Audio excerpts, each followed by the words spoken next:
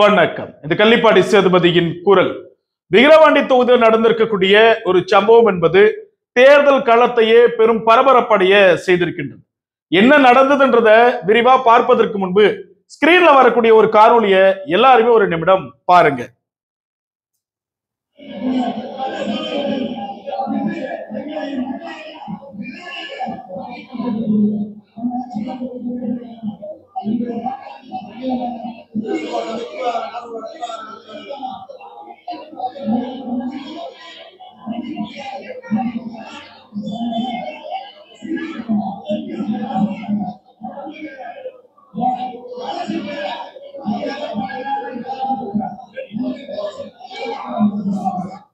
நீங்க பார்த்துட்டு இருக்க இந்த காணொளி என்பது நேற்றைய தினம் திமுகவிற்கும் பாமகவிற்கும் ஏற்பட்ட சண்டையினுடைய நேரடி காட்சிகள்.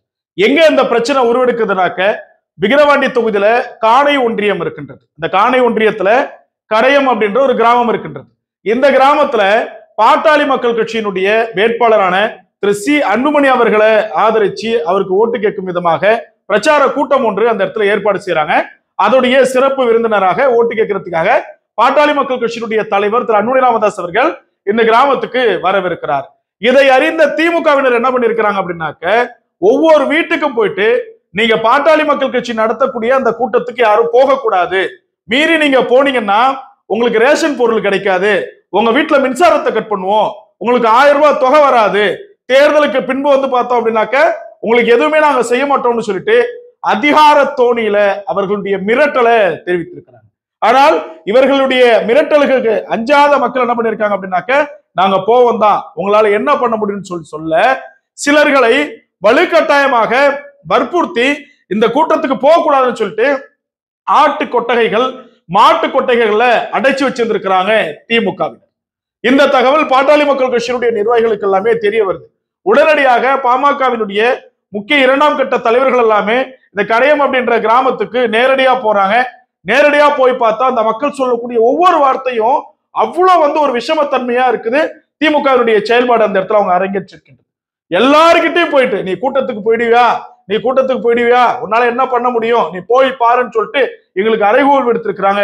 கிட்டத்தட்ட ஒரு ஆயிரம் பேருக்கு மேல அங்க ஆட்டு மந்தை அடிச்சு வைக்கிற மாதிரி அடிச்சு வச்சிருக்கிறாங்கன்னு சொல்லிட்டு சொல்ல பாட்டாளி மக்கள் கட்சியினர் உடனடியா போராட்டத்துக்கு ஆயத்தமானாங்க. நேருக்கு நேரா திமுகவும் அந்த இடத்துல இருக்குது பாமகவும் இருக்குது.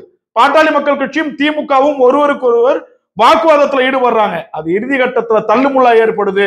அதுக்கப்புறம் திமுகவினருக்கு என்ன சன்மானம் கொடுக்க வேண்டுமோ அந்த சன்மானத்தை பாட்டாளி மக்கள் கட்சி கொடுத்து சாலை மறியல ஈடுபடுறாங்க. காவல்துறை வருது. காவல்துறை கிட்ட பாட்டாளி மக்கள் கட்சியினுடைய பிரமுகர்கள் எல்லாமே நேரடியா சொல்றாங்க. சார் இது நடந்தது. நேரடி வாக்குமூலம் இருக்குது. மக்கள் தெளிவா சொல்றாங்க. எந்தெந்த நிர்வாகிகள் திமுகவினுடைய நிர்வாகிகள் வந்து வலுக்கட்டாயமா வந்து எங்களை அடைப்பதற்கான முயற்சிகளை மேற்கொண்டார்கள். எங்களை வந்து இந்த கூட்டத்துக்கு போக கூடாதுன்னு சொன்னாங்கன்னு சொல்லிட்டு எல்லா தரவுகளையுமே காவல்துறை கிட்ட நேற்றைய தினம் அந்த களத்திலே கொடுக்குறாங்க. காவல்துறை என்ன பண்றாங்க? அந்த இடத்துல எதுவுமே பேச முடியாம எல்லோன் இஷ்யூ எதுவும் ஆயிடக்கூடாதுன்னு சொல்லிட்டு இவர்களை சமாளித்து கொண்டு இருக்கிறாங்க இவர்களை சமாளித்து கொண்டு அந்த கூட்டத்தை எப்படியாவது அப்புறப்படுத்த வேண்டும் என்கிற நோக்கத்தோடு அவர்களுடைய செயல்பாடுகளை முன்னெடுக்கிறாங்க. அதுக்கப்புறம் தான் பாமகனுடைய தலைவருடைய வருகை அறிந்து போலீஸ் ப்ரொடெக்ஷன் எல்லாமே ஏற்படுது. அந்த கூட்டம் அந்த இடத்துல நடத்தப்படுது. எந்த இடத்துல திமுக கூட்டம் நடத்தக்கூடாதுன்னு சொல்றாங்களோ எந்த இடத்துல பாட்டாளி மக்கள் கட்சி கூட்டம் நடத்தக்கூடிய இடத்திற்கு நீங்க போகக்கூடாதுன்னு சொல்லிட்டு திமுக சொல்றாங்களோ அதே கடையம் கிராமத்துல பாட்டாளி மக்கள் கட்சியுடைய தலைவர் திரு அன்புமணி ராமதாஸ் அவர்களுடைய தலைமையில கூட்டம் நடந்திருக்கு உங்களுக்கு என்ன அவ்வளோ வருது உங்களுக்கு அடிப்படை எதுவும் தெரியாதா? தேர்தல் அதிகாரி என்ன செஞ்சிட்டு இருக்கிறாரு தேர்தல் அதிகாரி நேரம் என்ன பண்ணிருக்கணும் யார் உரிய நிர்வாகிகளோ அவர்கள் மீது உண்மைத்தன்மையை கண்டறிந்து இந்நேரம் அவர்கள் மீது நடவடிக்கை எடுத்துக்கணும். ஆனா பண்ணுவாங்களான்னு கேட்டா அந்த மக்கள் கேட்ட கேள்வி இது.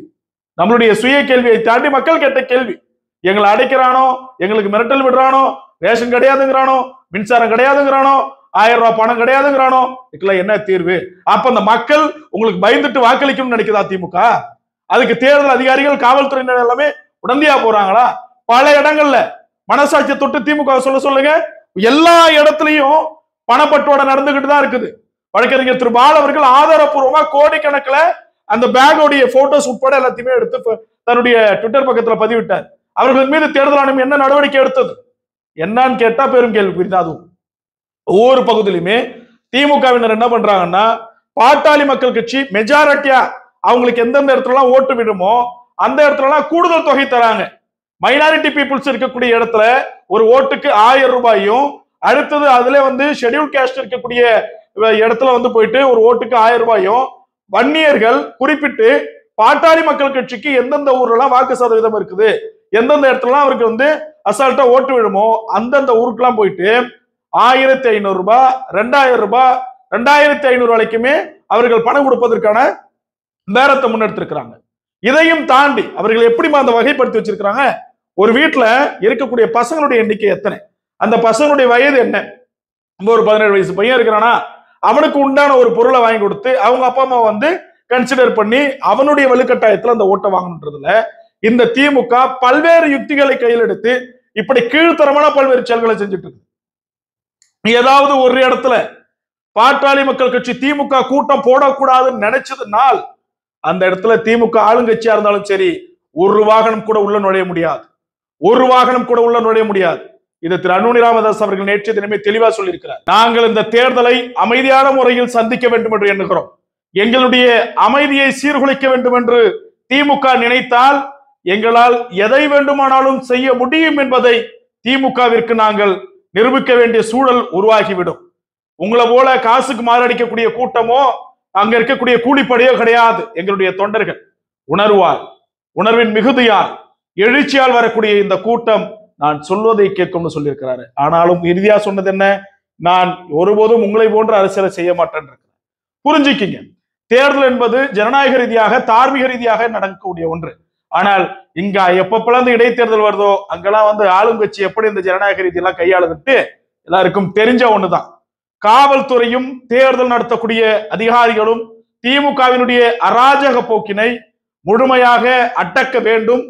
இல்லை என்றால் இங்க வந்து இந்த திமுக செய்யக்கூடிய போலித்தனம் எல்லாமே அத்துமீறிடும் என்று கூறிக்கொண்டு பாட்டாளி மக்கள் கட்சியினுடைய தொண்டர்களும் பிறர் அதாவது எஞ்சியிருக்கக்கூடிய பிற வாக்காளர்களும் அதிமுக வாக்காளர்களா இருக்கலாம் தேமுதிக வாக்காளர்களா இருக்கலாம். இவர்களெல்லாம் ஒரு முறை பாட்டாளி மக்கள் கட்சிக்கு விக்கிரவாண்டி தொகுதியில ஒரே ஒரு முறை வாய்ப்பு கொடுங்க.